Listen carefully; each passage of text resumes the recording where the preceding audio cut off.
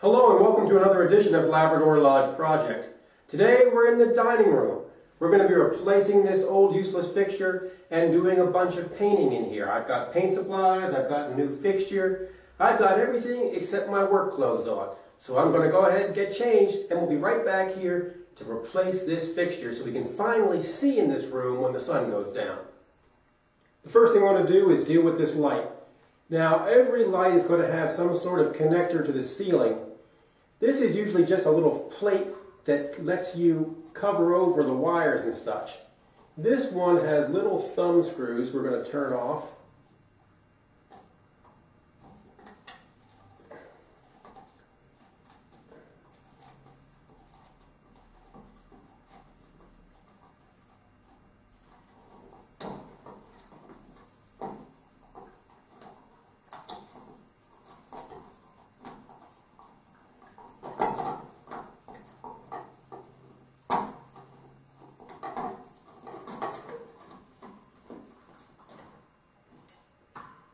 All right, now the way this is put up, when I lowered this down, what I found is that this is actually held up by that. And here are the wires coming down, you see them hooked to the wire nuts. I really can't let go of this, so what I'm going to do is I'm just going to go ahead and unhook these and take them off.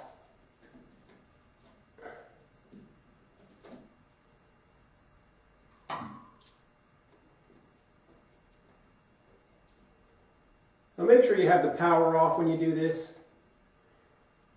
Would not be good to do with the power on. Okay, we've got this old lamp off. Now that we have the light down, we've gotten some white ceiling paint and I'm going to go ahead and paint all around this area. And don't just paint right around where it connects. Go out a bit. The last thing you want to do is run your roller over and then get paint all over your nice new fixture.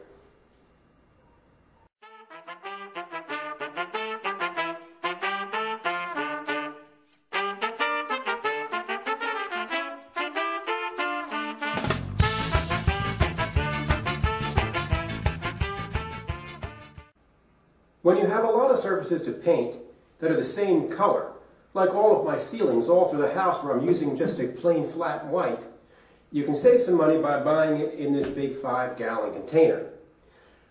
But these are hard to pour from and you can make an awfully big mess very easily.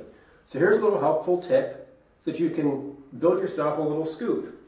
If you have a bottle or a milk jug or anything else, go ahead and take that, take your pocket knife,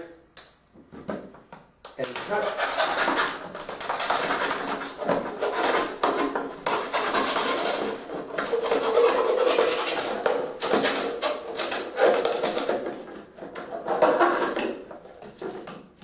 the top off of that, and now you have a nice scoop so you can scoop out some paint.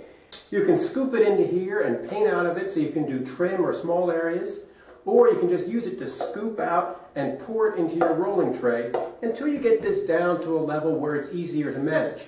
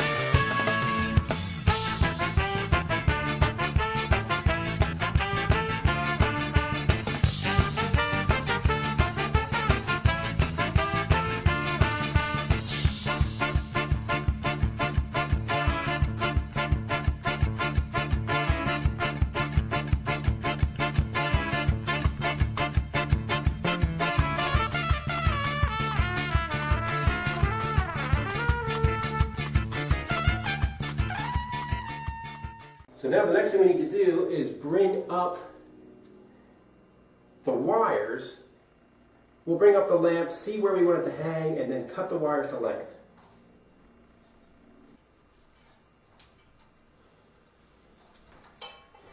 Okay, so we have our fixture. We're going to figure out roughly where we want it to be.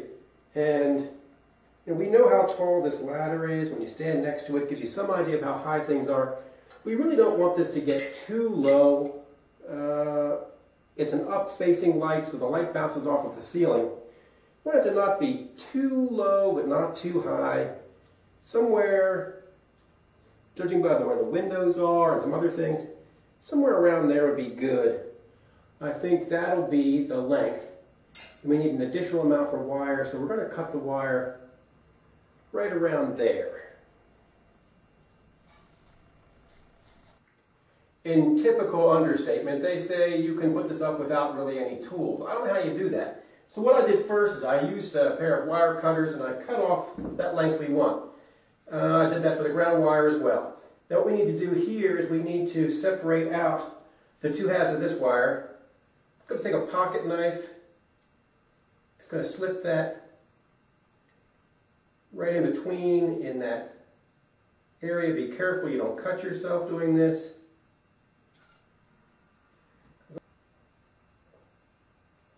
All right, now we've got them split. We've got the extra split. Now it's time to use your wire strippers if you have wire strippers. If you don't have wire strippers, that's okay. This is like the other day when I didn't have my hammer. Well, today I don't have my wire cutter.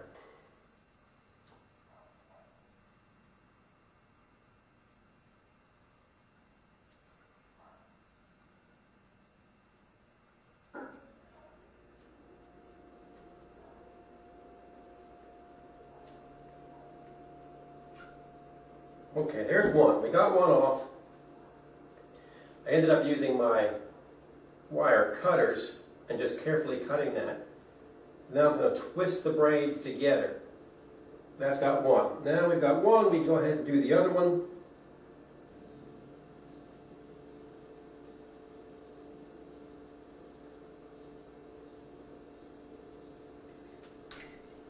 Okay, that got the other one. As you can see, all jobs are easier if you have the right tools, and I don't have the right tool today. Alright, I've got these hooked up, so now the next piece is that there is this chain, and it hangs by this chain.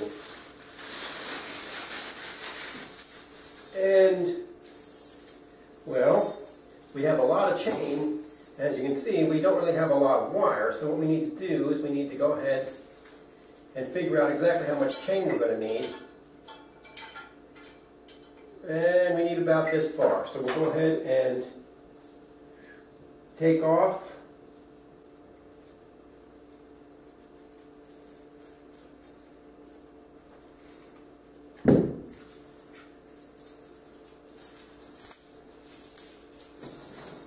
Okay, so our wires go up through this ring. So we're going to go ahead and feed them up the middle of the ring. And then this ring screws on to the lamp.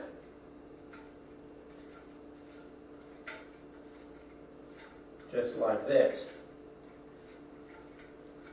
And run that all the way down until it's on there tight. Okay, now that's where that goes. Then our piece of chain that we cut off, it clicks, it clips onto there. Now, really, this is just a pain, I'll tell you what.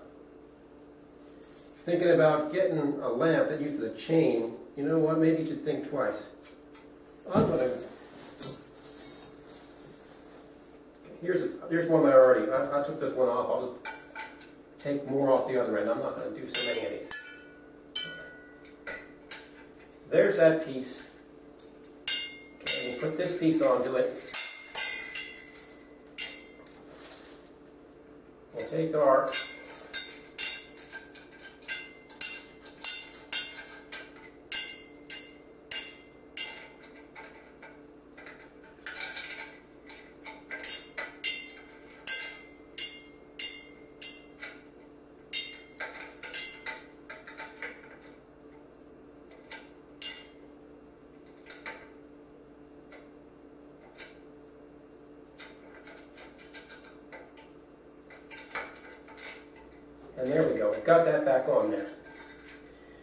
We need to braid these through the chain. Now I'm not going to go through every link because that is just too much. What I'll do is I'll bring it up, I'll pass it next to the links that run in one direction and go through the links that run in the other. Basically just every other one.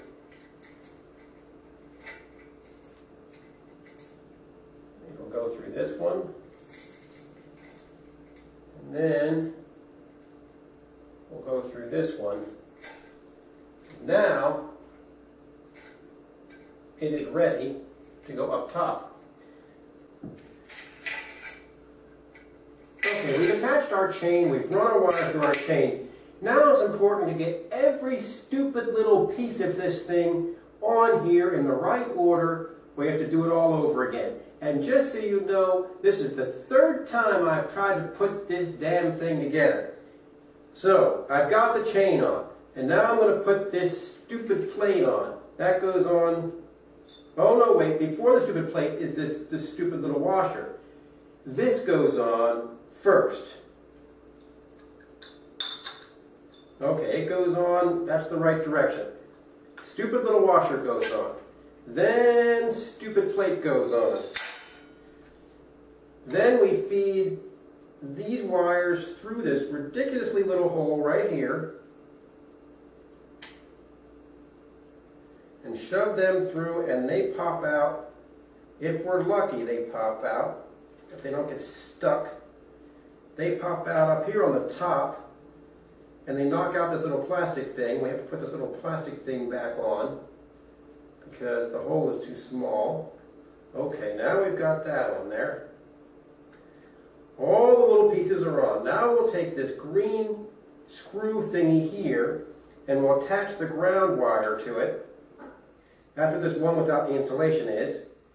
Go ahead and give that a little bend. Make sure you put it on so that when you screw it tight it doesn't unhook. So hook it in the direction of the screw is traveling.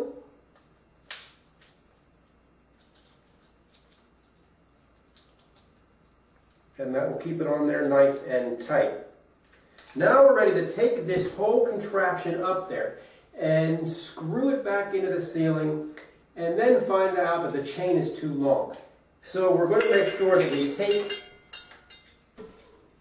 all of our tools up the ladder with us and go ahead and put this lamp up and let's hope it's the last time. Okay, here we are up on this ladder again. So what we need to do is we need to take this mounting bracket that we had up there once before, but now we have to put it up there for real because we had to take it down because of all these silly pieces that had to go in a certain order through here. The hardest part was getting the wires to run through. So we've got this, and now because we have to hold the weight of this whole thing while we're putting it up, which is absolutely ridiculous, but it's how they want you to do it, we have to be you know, very careful as we go ahead and put this in. put in one screw at a time and get them started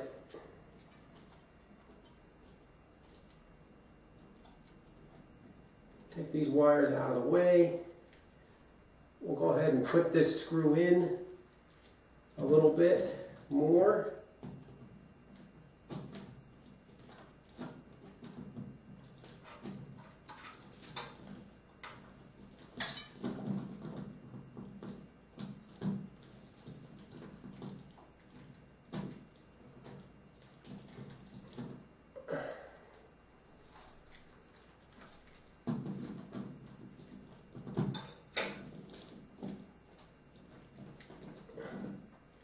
We got one screw most of the way in.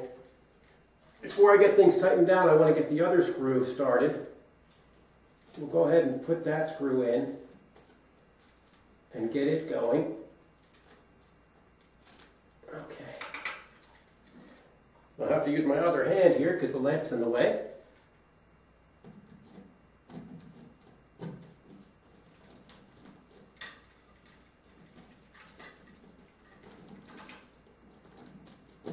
Now, okay, so here we are. I've got these started and most of the way screwed in. Go ahead and screw them the rest of the way in.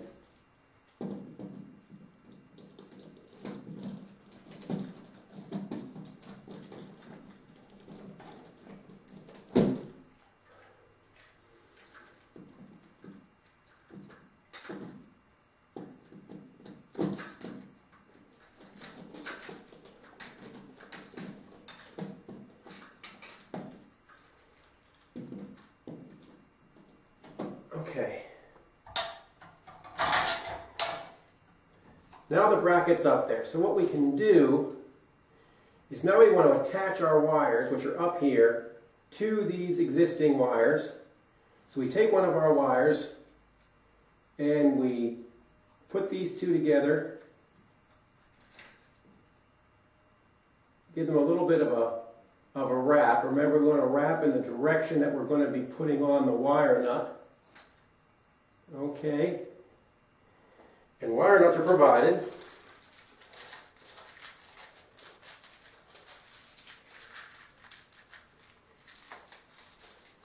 Go ahead and put this first one on.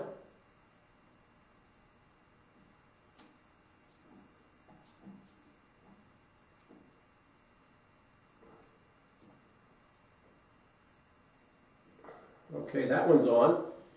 Now we'll go ahead and wind this other one on. Put another wire nut.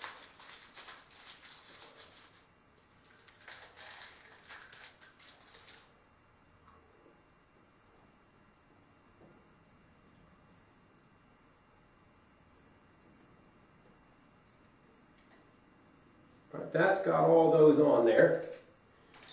With those on, now we could put some electrical tape, but this seems to be pretty well separated. I don't think I'm going to worry about that. Just going to go ahead and, and push these different ones a little away from each other so they don't cause any problems. Now this little plate goes over top. And then this washer thing goes up and holds that on.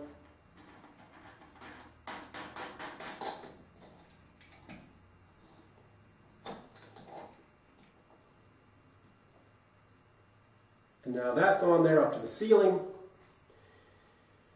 Now we've got this chain, which is decorative. Well, we generally want to put the weight on the wires. We want to put this up. And as you can see, we've got way too many links here. So that's okay. We'll run this back up. We'll see where we need to trim it off. We want to hang it off of this one. We need to take this one off. Okay.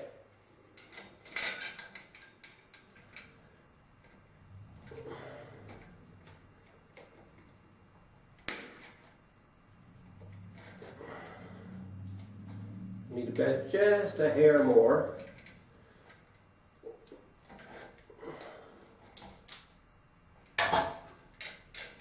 Take off this link if we don't need. Bring all this up, slip this onto that piece.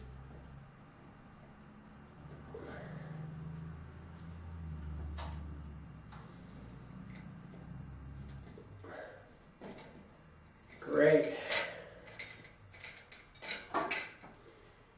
Just a little too small.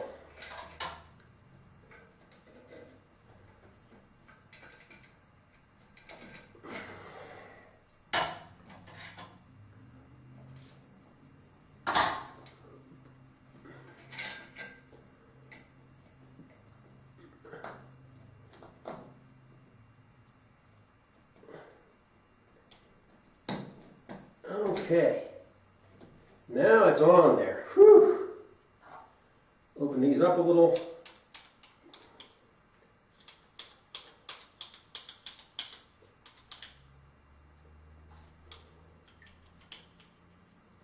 And then we'll go ahead and squeeze this link back shut.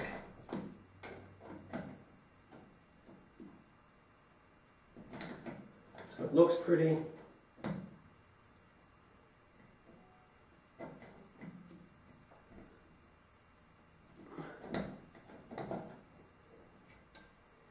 And voila, we have a lamp. And we want to go ahead and turn that a little bit so that we get it centered the way we want it.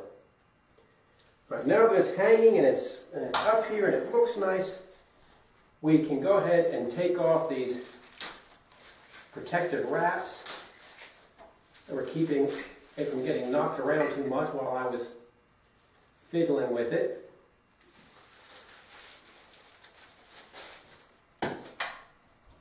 We've got these rings that come off, three of them.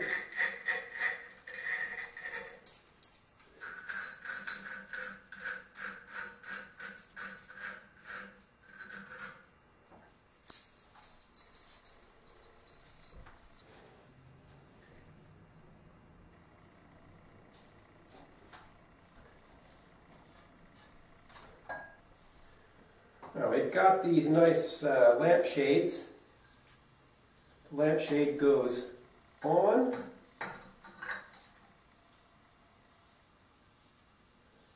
Put all three lampshades on.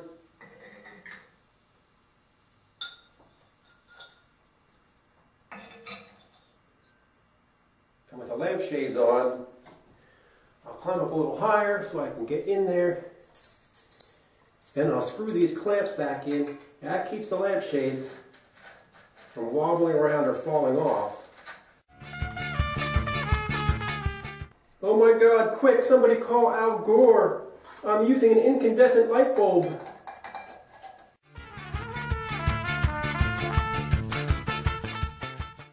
And now comes the moment of truth.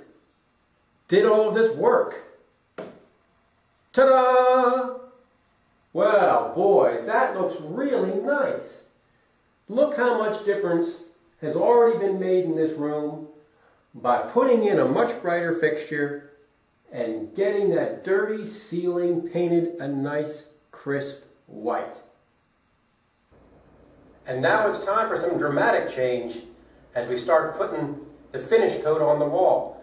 Now this paint, unlike the ceiling paint, which will need a second coat, this paint is paint and primer. One, they say it covers everything. I've never used it before. We're going to find out if it's really worth the extra money right now.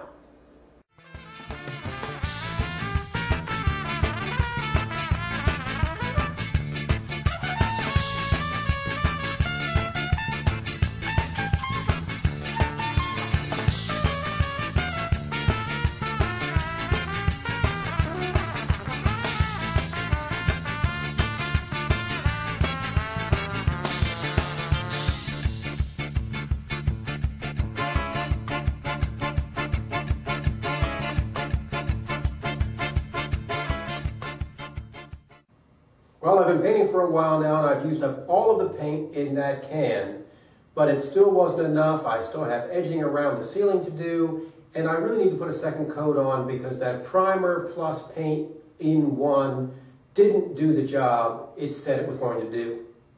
Now, looking at the wall here behind me, uh, you have to sort of imagine that the doorway and this cabinet here will be painted in bright white, and that's going to be offsetting this purple color. And then you see here at the fireplace, they've got this white mantel, and then someone has painted the brick white. If you have real brick, don't paint it. It kind of makes it ruined, and it'd be really hard to take this off. So instead, I'm going to repaint it. But because we have white over here on the cabinet and white around the doorways and, and white in a lot of places, this is a whole lot of white. So what I've decided to do is use more of a charcoal gray, a slate gray. It's going to go on this portion, and then this will stay white, and that will be black with the white inside.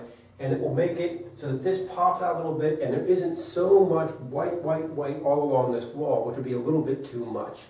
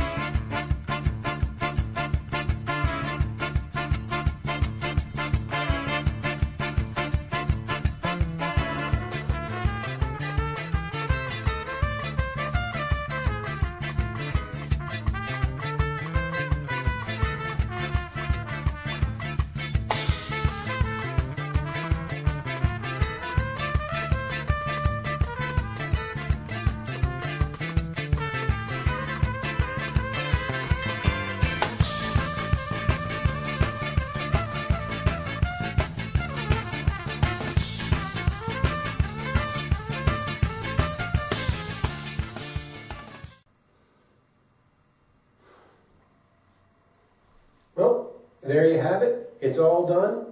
We've got our gray. We'll be retouching this with fresh white. Remember, there'll be white on either side. And that ought to make for this to really pop out and look really great once it's fresh white with the white on either side. And sort of subdue slightly this fireplace so it isn't too much white in this room. Plus the purple and gray are complementary colors. Should go together really nicely. All right, that's it for today. It's getting near around midnight, so it's time for me to knock off and come back to this tomorrow.